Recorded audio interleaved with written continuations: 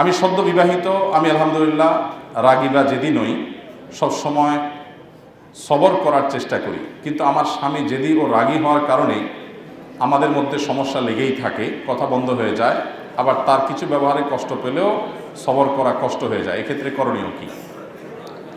দেখুন, আমাদের দাম্পত্য জীবনে সুখের মূল চাবিকাঠি হলো সবর এবং শুকর দাম্পত্য জীবনে সুখের মূল চাবিকাঠি কি? সবর এবং ধৈর্য এবং কৃতজ্ঞতা। এই দুটি গুণ যদি না থাকে, দুজনের কোনো একজনের মধ্যে তাহলে দাম্পত্য জীবনে সুখ শান্তি পাওয়া অলমোস্ট অসম্ভবের মতো কঠিন একটি বিষয়। নবী করিম সাল্লাহ সাল্লামের দাম্পত্য জীবনে এমন অনেক ঘটনা ঘটেছে যে ঘটনাগুলোর কারণে মন খারাপ হওয়ার কথা ছিল।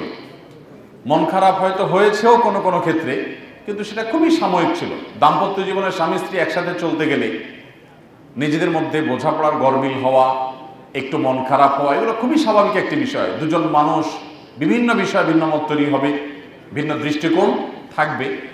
এই বিষয়গুলোতে ধৈর্যের কোনো বিকল্প নেই।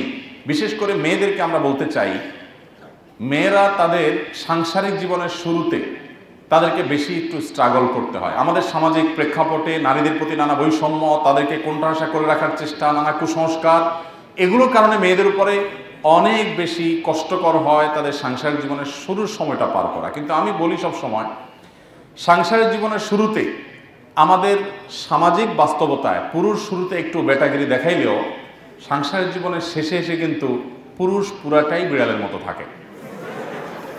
কীভাবে?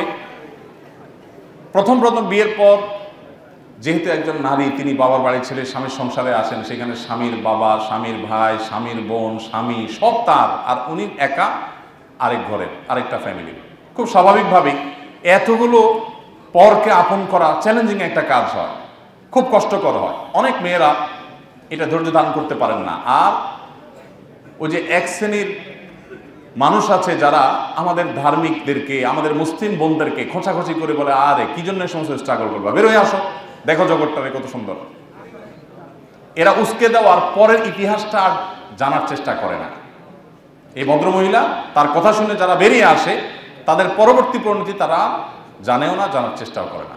এর বিপরীতে যারা কষ্ট করে টিকে থাকে, যারা কষ্ট করে ধৈর্য ধারণ করে, সবর করে, নদীর কেনারাতে যে বড় বড় ঢেউ, এটা দেখে ভেতরে ঢুকতে যারা ভয় পায় না, সাহস করে এগিয়ে যায়।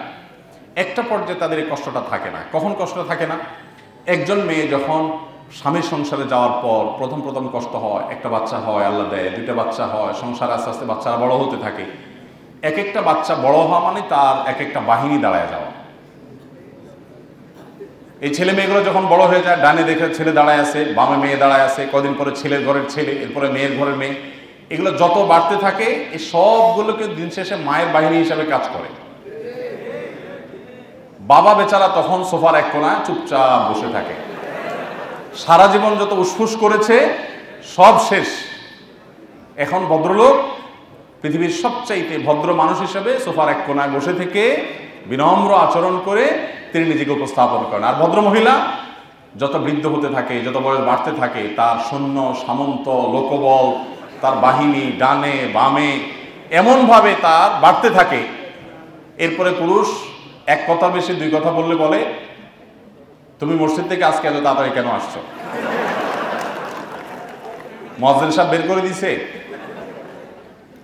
বেশি কথা চলে না, এটা কিন্তু বাস্তবতা। এই জন্য বোনদেরকে বলতে চাই, সাংসারিক জীবনে শুরুতে শুধু বোনদের কেন? ভাইদের জন্য একই কথা প্রযোজ্য। সাংসারিক জীবনে দুজন দুজনের সাথে প্রথমে অনেক ঝামেলা তৈরি হয়। সবর করে টিকতে হয়, একটা সময় আল্লাহ তালা সুদিন দেন। আর যারা অধৈর্য হয়ে যান, তাদের সে সৌভাগ্যটা হয় না। আসুন্না ফাউন্ডেশন, উম্মার স্বার্থে, সুন্নার সাথে।